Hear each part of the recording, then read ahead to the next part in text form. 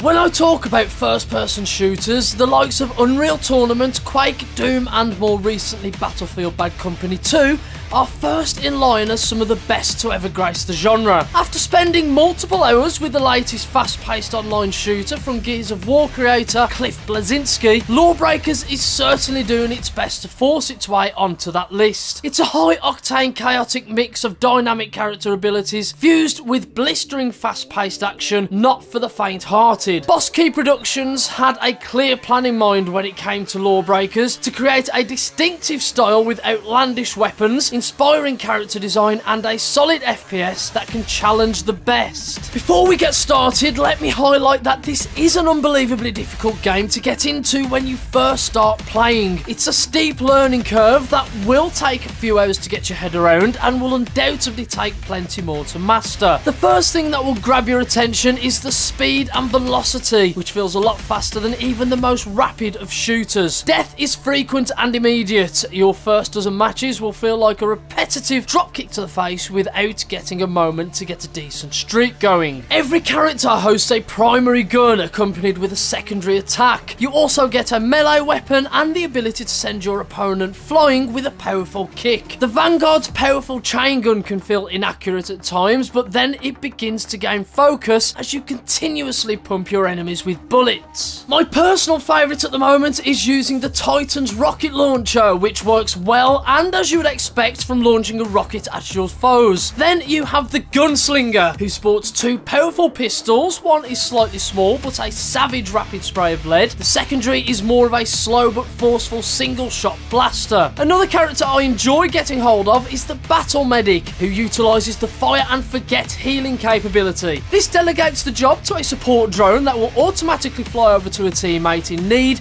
to regenerate their health. This leaves your hands free to lob a grenade in the direction of an unsuspecting victim. My main issue with the game is that despite the solid fast-paced heart racing gameplay that includes 18 characters to choose from who pack some fun weapons, the actual characters themselves feel quite bland and not too different from the next. The addition of individual dialogue and characteristic personality surely wouldn't have been too difficult to implement. This isn't to say Lawbreakers doesn't pack a punch in other areas. With so many characters to embrace, I feel matches would feel a lot more rewarding if there was a little more individuality. Lawbreakers does build variety though, through its sharp style of movement, this is where the hardcore FPS players will relish the opportunities of rapid implications. For example, take the Wraith, who accelerates by sliding along the ground to either avoid or approach its enemies, stabbing the air with a knife enabling him to move forward in low gravity. They also have the ability to triple jump and wall jump, a move set that has given the Wraith a dashing and outlandish movement that is thoroughly enjoyable to master. And whilst you're doing that, you'll be mastering Lawbreaker's game modes.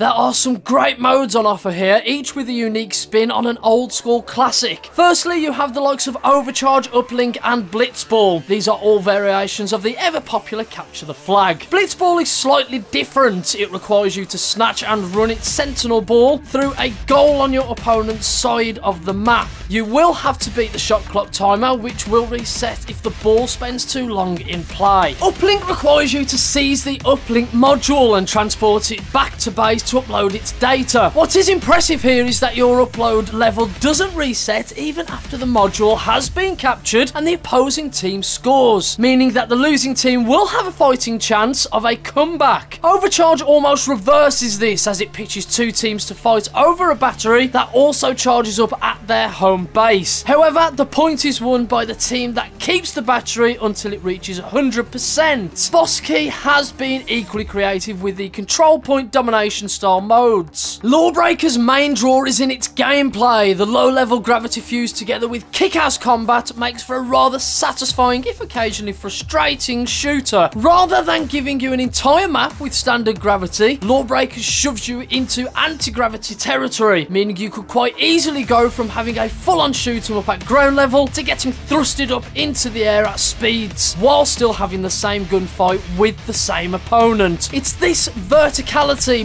moulded with an insane amount of speed that makes Lawbreakers such an exhilarating ride whilst constantly challenging your skills, awareness, and the occasional nerve. So here's the verdict. I am thoroughly enjoying my time with Lawbreakers. It's a fresh take on the FPS genre with a slight nod to a time where first person shooters didn't feel repetitive or stale. They were invigorating, rewarding, and gave you a bigger rush than any other gaming genre. That's exactly what Lawbreakers has achieved. It's not without some niggling flaws that I'm sure Boss Key Productions will identify and look into ways on how to improve them. The fast paced nature of the game with innovative game modes and plenty of characters to experiment with, it's certainly worthy of a place amongst the best first person shooters out there. Will you be on the right side of the blade or the wrong side of a gun? Lawbreakers.